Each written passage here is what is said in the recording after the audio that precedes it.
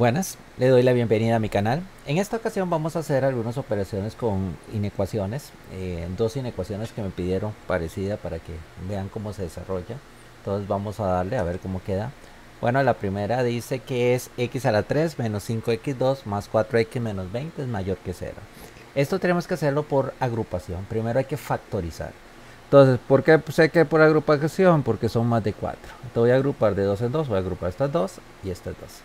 Entonces, ¿cuál es el factor común de estas dos? El x a la 2 es el que sacamos. ¿Qué me quedaría? x menos 5. Más, ¿cuál es el factor común de 4 y 20? Entonces agarro 4 y 20, le sacamos mitad, que es 2, aquí es 10, tiene mitad, que es 1, que es 5. 2 por 2 son 4, entonces aquí el múltiplo es 4. Entonces, ¿qué me quedaría? x menos 5. ¿Es mayor que quién? Que 0. Ahora, ¿qué hacemos? Eh, ya tenemos este y este son iguales, significa que está bien la factorización, entonces lo factorizamos, queda x menos 5 por x a la 2 más 4. ¿Es mayor que quién? Que 0. Esto tenemos que hacer una tabla, o sea, buscar dónde se hace 0 esta. Esta se hace 0 en dónde? Cuando x menos 5 es igual a 0, o sea, x es igual a 5, se hace 0 en 5. ¿Esta dónde se hace 0? Nunca, porque van a ver algo. Lo puedo hacer como discriminante. Saco el discriminante que quería B. ¿Quién es B? No aparece. Es 0. Será la 2 menos 4 por A, que es 1, por C, que es 4. Recuerden la fórmula cuadrática. AX2, perdón, más BX más C. Y, y, y recuerden sacar el discriminante que era B a la 2 menos 4 por A por C. Entonces hacen esto en la calculadora, les queda menos 16. O sea, esta nunca se hace 0 en números reales. Entonces hacemos la recta, una tabla donde vamos a tener menos infinito y más infinito. Vamos a tener en este caso dos columnas, dos filas, que una va a ser x menos 5 y la otra x a la 2 más 4. ¿Se hace 0 en dónde? En 5. Paso una línea, pongo en 5. El otro no tiene 0.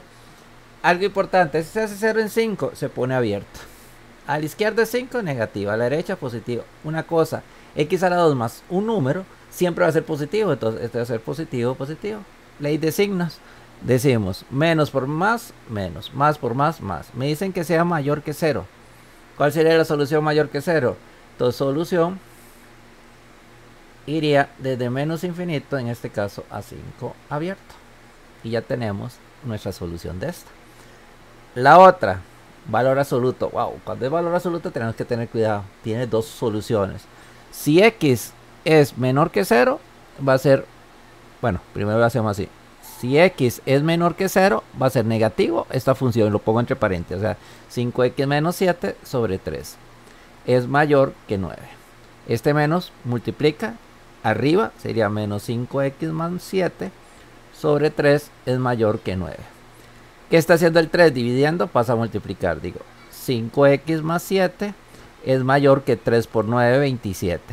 El 7 está sumando, bueno, menos 5x, perdón. El 7 está sumando, pasa a restar. Menos 5x es mayor que 27 menos 7. Menos 5x es mayor que 20.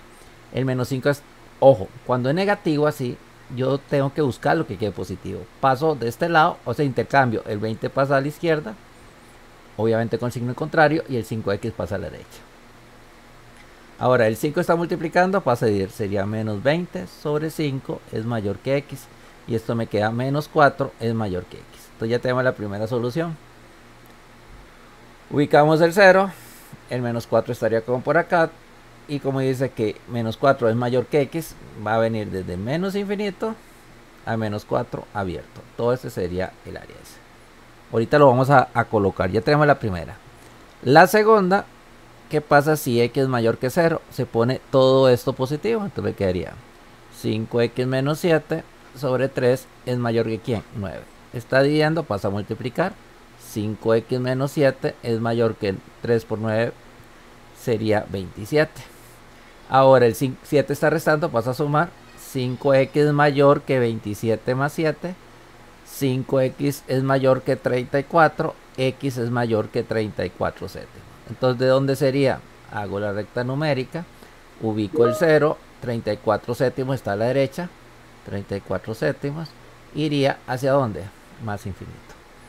Entonces, aquí tenemos dos posibles soluciones. Entonces, ¿cuál sería donde esta función es mayor que 0? Y ahí tendríamos que eh, sustituir, entonces hacemos la recta numérica. Ubicamos el 0, ubicamos el menos 4 a la izquierda, iría hacia la izquierda todos los números. Ese sería el área y el otro comenzaría desde quién? 34 qué? Eh, uy, ese es un 7. Ya, número más feo. 34 séptimos. Eh, quintos, perdón. Porque es el 5 que pasa a dividir. 34 quintos. Uy. Número. Tengo que mejorar mis números. Iría hasta más infinito. Entonces, ¿qué podemos hacer ahí? Y ahí buscar qué número multiplicado. Veamos un caso. Un caso que esté aquí, digamos 10. Vamos, 5 por 10, 50. Entonces decimos 50. Le restamos 7. Es para probar. Y dividido entre 3, estamos hablando que el resultado es 14.4. Se cumple. Un número con 0, 0 es 7 tercios, no se cumple. Entonces, ¿cuál sería la solución? Solución sería la unión de esos dos. O sea, sería desde menos infinito a menos 4 eh, abierto. Unión de quién? De 34 quintos a más infinito. Esa sería nuestra solución. En este caso es la unión porque esos números va a ser mayores que 0. Nada más sustituyan. Vean menos 5. Menos 5 por 5 menos 25. Menos 7 menos 34 entre 3. Un número va a ser valor absoluto positivo. Un número mayor que 9. Esos son los casos que tenemos que a la hora de visualizar. Tener mucho cuidado a la hora de, de desarrollarlo. Y, y, es pura fórmula. Bueno chicos, espero que estén bien. Y no se, no se les olvide suscribirse a mi canal. Cualquier consulta, ahí me escriben y buscamos la solución. Cuídense, chao.